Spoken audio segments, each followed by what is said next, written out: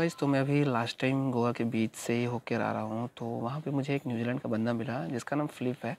तो वो एक म्यूज़िक इंस्ट्रूमेंट प्ले कर रहा था ब्रास ट्रम्पेट जैसे बोलते हैं। तो चलिए मैं आपको एक छोटा सा क्लिप दिखाता हूँ।